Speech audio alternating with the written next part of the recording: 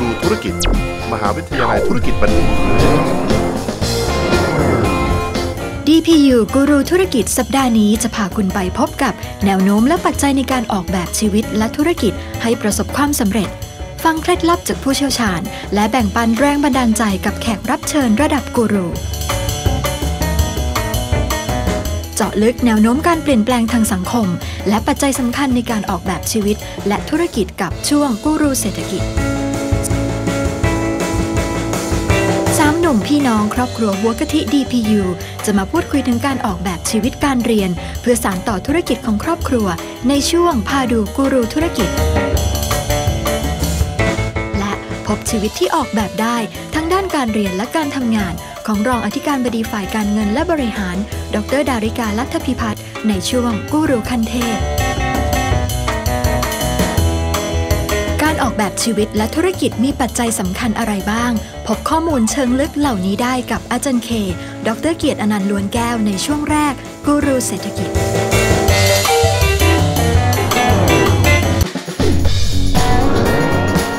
ช่วงกูรูเศรษฐกิจ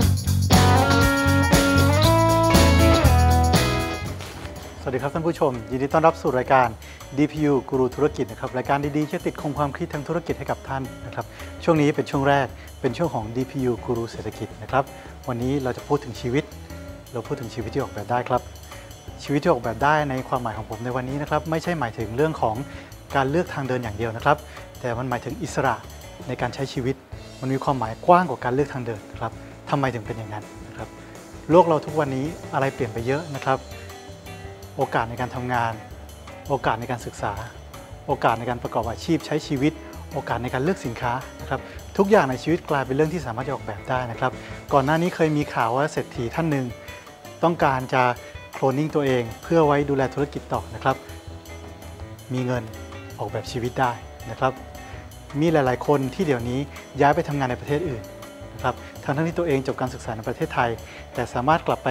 สร้างครอบครัว สร้างความมั่นคงในอาชีพการงานได้อีกฝากหนึ่งของโลกนะครับ มีความสามารถชีวิตออกแบบได้ครับนะครับ ธุรกิจที่เคยเป็นธุรกิจเล็กๆนะครับ มีการบริหารจัดการ มีกลยุทธ์ที่ดี เติบโตขึ้นกลายเป็นธุรกิจใหญ่โต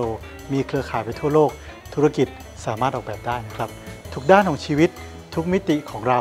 สามารถออกแบบได้ นี่คือโอกาสที่มาพร้อมกับโลกสมัยใหม่ มาพร้อมกับเทคโนโลยี มาพร้อมกับการเปลี่ยนแปลง มาพร้อมกับการแข่งขัน และแน่นอนครับ มาพร้อมกับโอกาสที่เกิดขึ้นรอบตัวนะครับ เรามาดูนะครับว่าแนวโน้มที่เกิดขึ้นเป็นยังไงบ้างนะครับ ผมขอเริ่มจากข้อมูลชุดแรกก่อนเลยนะครับ ข้อมูลชุดแรกนะครับ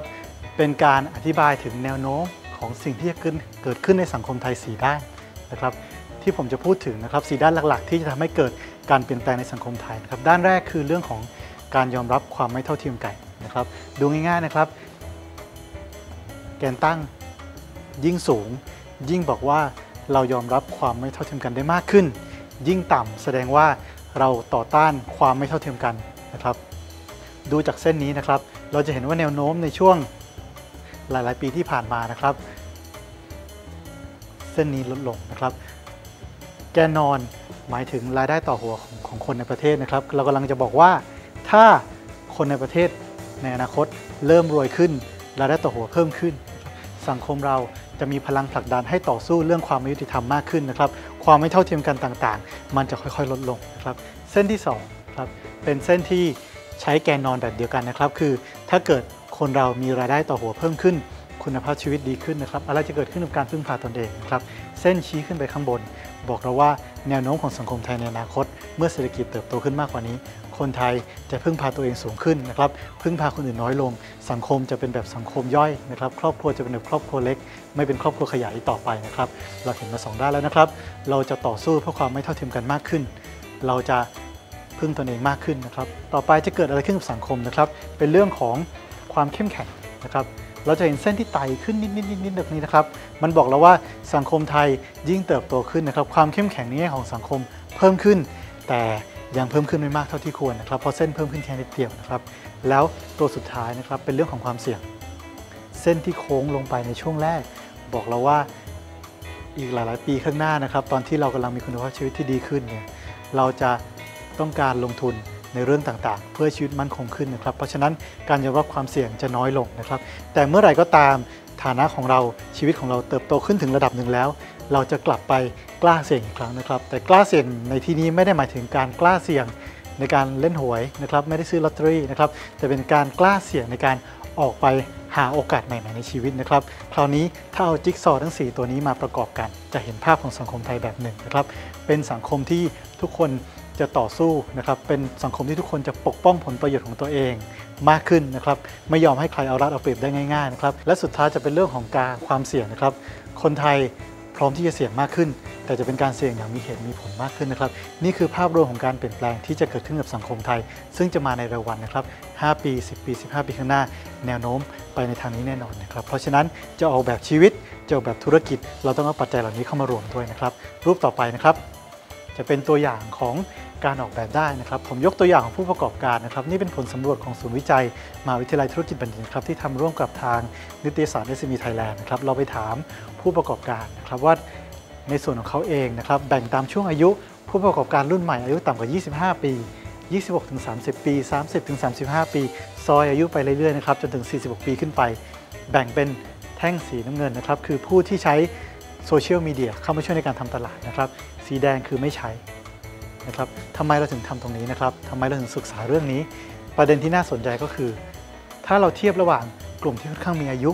กับกลุ่มผู้ประกอบการรุ่นใหม่นะครับ จบมาใหม่ ๆ เพิ่งเริ่มต้นชีวิต เพิ่งเริ่มต้นทำธุรกิจนะครับ กลยุทธ์ในการทำธุรกิจของเขา มีวิธีการออกแบบที่แตกต่างกันนะครับ คนรุ่นใหม่ เครือข่ายยังไม่เติบโต ต้องเลือกใช้เครื่องมือครับแล้วต้องเป็นเครื่องมือที่ต้นทุนต่ำ และเกิดประโยชน์สูงโซเชียลมีเดียนะครับไม่ว่าจะเป็นเว็บไซต์อินเทอร์เน็ต Facebook เครื่องมือต่างๆ เหล่านี้ช่วยเขาเติบโตได้นะครับ นั่นคือวิธีการนี่คือตัวอย่างของนักธุรกิจรุ่นใหม่ที่ออกแบบกลยุทธ์ทางการตลาด ต้นทุนต่ำเพื่อให้ตัวเองสามารถเข้าไปอยู่ในสมรภูมิธุรกิจ และสามารถต่อสู้กับคู่แข่งที่มีอยู่ในตลาดได้นะครับ ธุรกิจออกแบบได้ในแง่การตลาดนะครับ ต่อไปครับ จะเป็นเรื่องของการใช้เวลานะครับ นอกจากเราถามเรื่องของ การตลาดแล้วนะครับ เรายังถามด้วยว่าวันวันหนึ่งนี้ผู้ประกอบการรุ่นใหม่เขาใช้เวลาไปกับอะไรบ้างนะครับ เราพบว่าเวลาประมาณ 20%นะครับซึ่งเป็นเวลาส่วนใหญ่ในแต่ละสัปดาห์เลยเนี่ยเขาลงไปคุยกับลูกค้าเองนะครับ เห็นภาพตรงนี้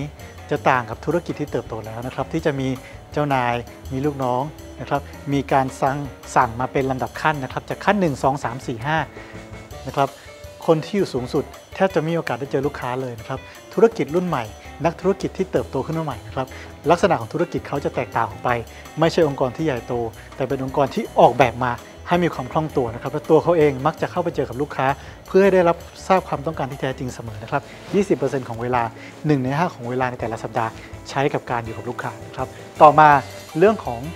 การผลิตการให้บริการนะครับ ธุรกิจเล็ก ๆ จะเติบโตได้ การออกแบบวิธีการในการดูแลคุณภาพสินค้าเป็นเรื่องจำเป็นนะครับ เพราะฉะนั้นการดูแลคุณภาพการผลิตเป็นสิ่งที่ต้องดูแลเป็นพิเศษนะครับ เรื่องของการบริหารเงินนะครับอย่าลืมนะครับผู้ประกอบการรุ่นใหม่เติบโตมาพร้อมกับการศึกษาที่ดีกว่ารุ่นก่อนหน้านั้น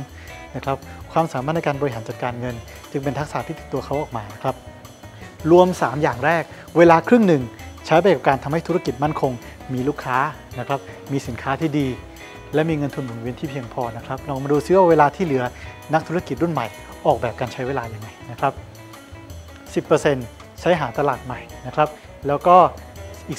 10%ใช้ในการติดต่อกับคนที่เป็นซัพพลายเออร์ของเรานะครับ เห็นภาพไหมครับ เวลาครึ่งหนึ่งใช้ในการไปข้างหน้า เวลาอีกประมาณ 20%ใช้ในการดูแลด้านหลังนะครับ เพื่อให้ธุรกิจไปได้